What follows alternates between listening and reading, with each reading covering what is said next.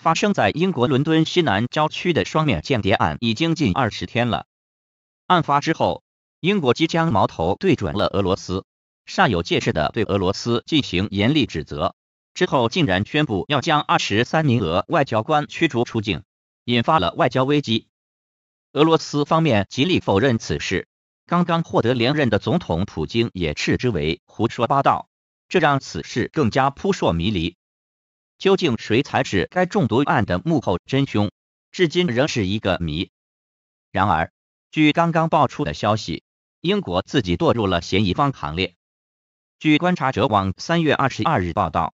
俄军防核生化部队司令伊格尔基里洛夫表示，英国自上世纪七十年代起是实施新型化学武器研发计划的国家之一，具有相当丰富的研发毒剂的经验。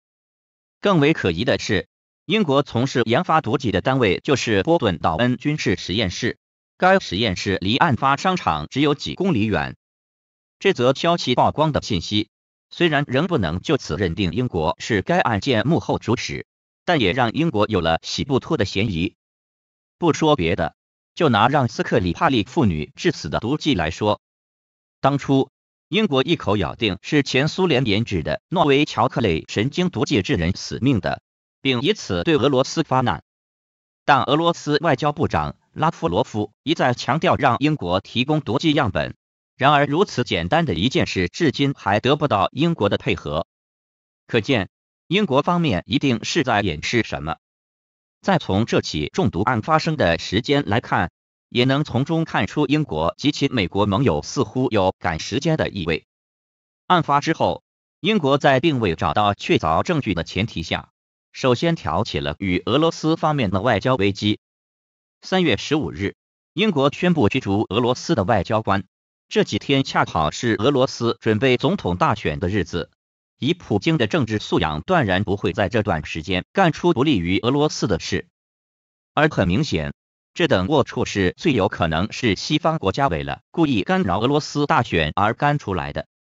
另外，英国还有可能是要以这起中毒案为即将参与对俄罗斯的制裁找借口。今年一月二十二日，美国发布了一份针对俄罗斯的制裁名单。其中包括俄总理梅德韦杰夫、俄防长绍伊古以及其他俄罗斯政商大员。看来美国是要大干一番。作为美国最得力干将的英国，自然不甘落后，肯定是积极参与制裁的一员大将。而且巧合的是，三月七日，英美两国还一起举行了二零一八年兵员演习的海上军演，地点正是令俄罗斯极为敏感的北冰洋。结合来看。